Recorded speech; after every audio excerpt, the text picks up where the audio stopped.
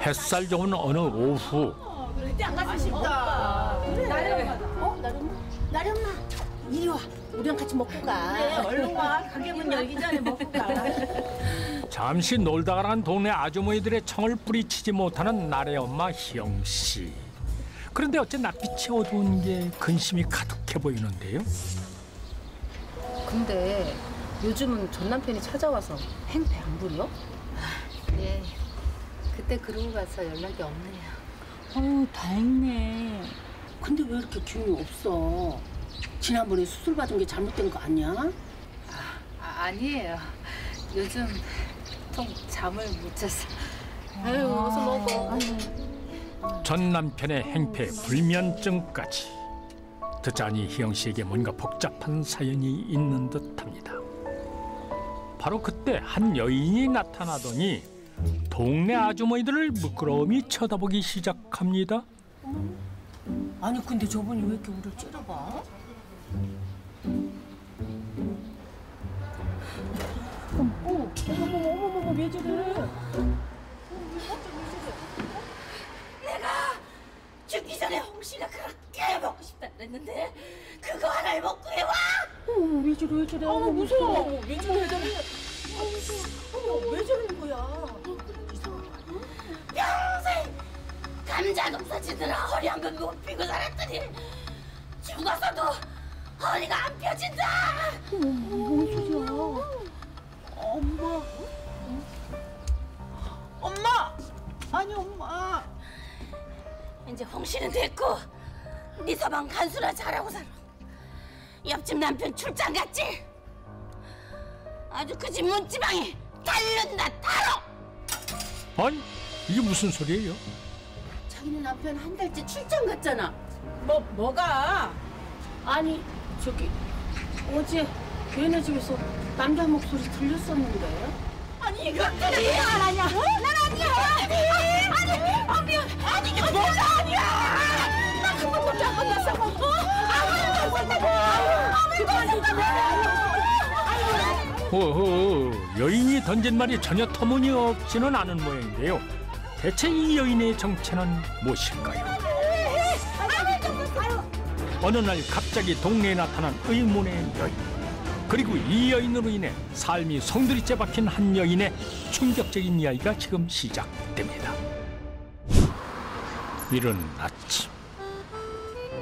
희영 씨가 딸 나래 양의 아침 식사를 챙기고 있습니다. 보아니 희영 씨도 함께 집을 나설 모양인데요. 엄마 벌써 나가려고? 어, 몸이 좀 안 좋아서 병원 들렀다 가게. 또 그것 때문에 그래? 그러게. 자꾸 신경 쓰이게 꿈에 나타나네. 너무 마음 쓰지 마. 엄마 같이 나가자. 악몽 때문에 잠을 설칠 때가 많다는 희영 씨.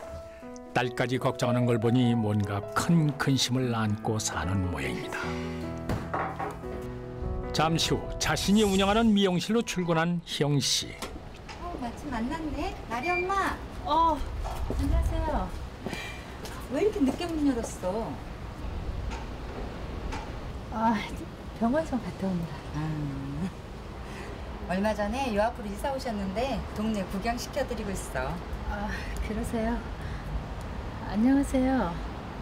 머리 할 거 있으면 미용실은 이 집으로 다니시면 돼요. 그런데 그때 엄마 우리 왜 죽였어? 그게 무슨... 아우 깜짝이야. 도대체 왜 그래요? 어? 일부러 그런 거지 일부러 계단에서 부른 거지 우리 보기 싫어서 일부러 그런 거지 아니야. 아니 아니야.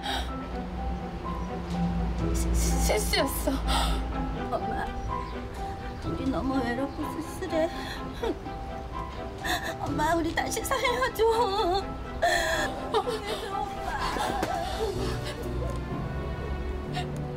미안해. 미안해. 엄마가 미안해. 희영 씨는 대체 왜 이런 반응을 보이는 걸까요? 나가. 나가. 저번에도 가져. 이야기는 12년 전으로 돌아갑니다. 안 돼 안 돼 이 돈만 절대 안 돼 켜. 키라고 했다. 안 된다니까. 아 이번에 내가 한탕 제대로 해온다고. 빨리 내놔. 없어. 어, 이거 우리 쌍둥이 출산할 돈이야. 아, 안 돼. 아, 아, 아, 아유. 도박에 빠진 남편 때문에 희영 씨의 결혼 생활은 순탄치 못했습니다. 여보.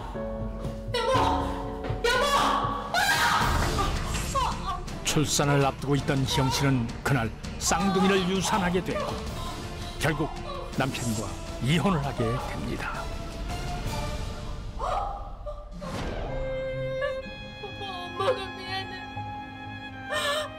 그날 이후 쌍둥이에 대한 죄책감에 시달려온 희영 씨. 그렇다면 영란 씨는 희영 씨의 가슴 아픈 사연을 대체 어떻게 알게 된 걸까요? 정신이 좀 들어요? 아, 죄송해요. 제가 가끔 이럴 때가 있어요. 많이들 놀라셨죠? 여기 놀라 자빠진 거 안 보여요? 죄송해요, 처음에는. 죽은 쌍둥이들이 딸내미 발목을 꽉 잡고 있어요. 딸, 내일 절대 학교에 보내지 마세요. 다쳐요. 또다시 묘한 말을 던지고 호련히 자리를 뜨는 영란 씨. 과연 그녀에겐 미래를 보는 특별한 능력이라도 있는 걸까요? 희영 씨는 이 상황이 몹시 혼란스럽기만 합니다. 다음 날 아침. 어제 영란 씨가 남기고 간 말 때문에 희영 씨의 머릿속이 복잡한 모양입니다. 믿자니 황당하고 그냥 무시해버리자니 찜찜한 눈치인데요. 엄마, 나 갔다 올게. 나래야. 너 오늘 학교 가지 마. 무슨 소리 학교를 왜 안 가? 오늘 밖에 안 나가는 게 좋겠어.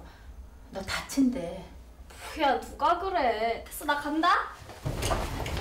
가지 말라면 가지 마. 아, 나 오늘 중간고사 진짜 왜 그래?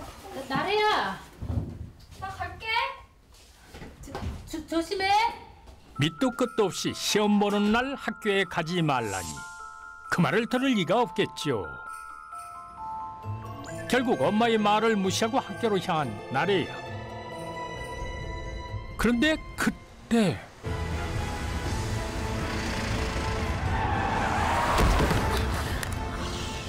아 영란 씨 연대로 나래 양이 사고를 당하고 말았습니다. 불행 중 다행으로 팔에 작은 골절상만 입은 나래양. 희영 씨는 영란 씨의 말을 듣지 않은 자신이 원망스럽기만 했는데요. 진짜 그분 말이 다 맞았네. 내가 널 끝까지 말렸어야 했는데 말렸어야 했는데 우연이지 우연. 아무래도 안 되겠다. 너 혼자 갈 수 있지? 엄마, 엄마. 동네에서 미용실을 운영하던 는 우연한 기회에 손님으로 온 를 만나게 됩니다. 에게 자신은 과거와 미래를 볼 줄 아는 영사라고 소개하는데요. 놀랍게도 의 예상은 사실과 맞아 떨어지게 됩니다. 과거 아이를 유산한 죄책감과 남편과의 이혼 등으로 불안감에 시달렸던 는 점점 더를 의지하게 됩니다. 나래 양의 사고를 계기로 희영 씨는 영란 씨에게 자기의 집에 머물러 달라고 부탁을 했습니다. 그런데 이건 또 뭐죠? 달걀 두 개를 깨서 희영 씨 앞에 내놓는 영란 씨. 오늘부터 내가 시키는 대로 100일만 해봐. 이거 쭉 마셔. 영란 씨의 말이 떨어지기가 무섭게 날달걀을 들이키는 희영 씨. 도대체 왜 이런 걸 시키는 걸까요?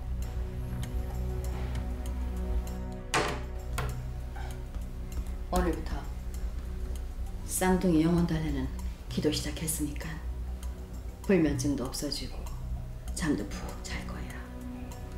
감사합니다. 뭘? 그럼 방으로 들어갈까? 기도도 올리고 악기를 내주는 치료도 좀 해줄게. 네. 듣자 하니 이 모든 게 희영 씨가 유산한 쌍둥이의 영혼을 달래기 위한 의식인가 본데요. 악기를 쫓는 치료를 해주겠다며 방으로 들어가는 두 사람. 이거 왠지 불안합니다.